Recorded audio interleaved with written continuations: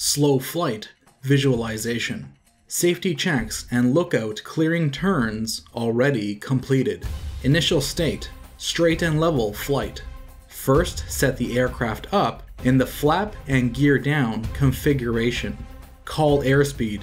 Select partial flaps down. Call airspeed again. Select gear down. Control the balloon.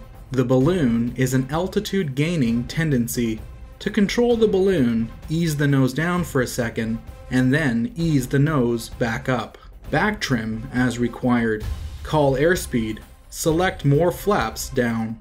Control the balloon once again. Apply some more back trim. Next, we need to slow down to an airspeed close to the stall warning, all while maintaining altitude. Reduce a little bit of power to lose energy. Distribute the energy loss from airspeed only by easing the nose up. Back trim as required. Approaching desired airspeed, add some power, and simultaneously add some right rudder. Hold the attitude steady and trim as required. Slow flight has been established. Clearing turns now as required or desired. However, we'll move on to the recovery. To initiate the recovery, smoothly apply full power. Select flaps up halfway and select gear up.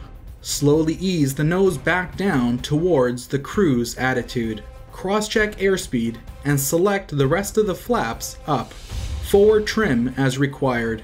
Aircraft cleanup checklist as required.